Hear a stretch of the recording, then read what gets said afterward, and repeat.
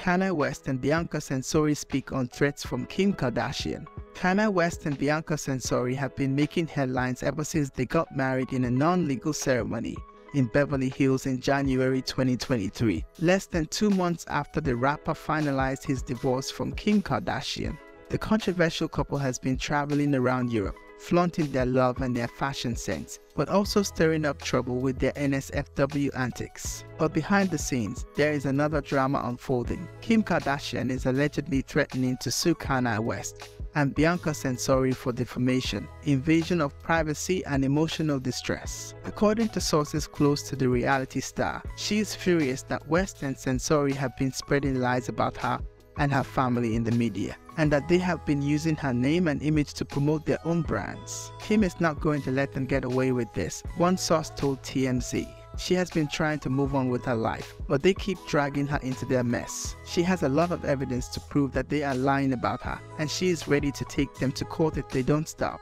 Some of the allegations that Kardashian is disputing include that she cheated on West with multiple men, including Drake, Meek Mill, and Van Jones. That she tried to sabotage West's presidential campaign in 2020 by leaking his mental health issues to the press. That she abused West physically and emotionally during their marriage. And that she manipulated him into signing a prenup that gave her most of his fortune. That she is a bad mother who neglects her four children, North, Saint, Chicago, and Psalm that she is jealous of Censori's beauty and talent, and that she tried to prevent her from working at Yeezy. That she hired private investigators to spy on West and Censori, and that she sent them threatening messages and phone calls. West and Censori have not responded to Kardashian's legal threats directly, but they have been posting cryptic messages on social media that seem to address the situation.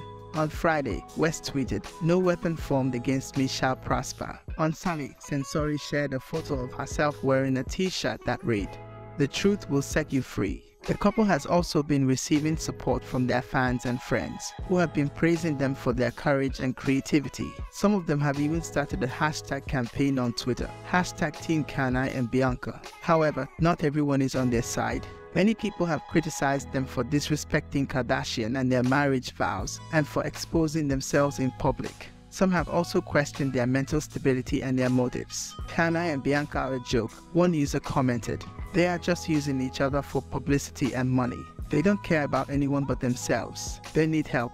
Kim deserves better than this, another user wrote. She was loyal to Kanye through thick and thin. She supported him in his career and his dreams. She gave him four beautiful children. She doesn't deserve this humiliation. As of now, it is unclear whether Kardashian will follow through with her lawsuit or whether West and Censori will back down from their claims. What is clear is that this feud is far from over and that it will continue to generate more drama and controversy in the coming days.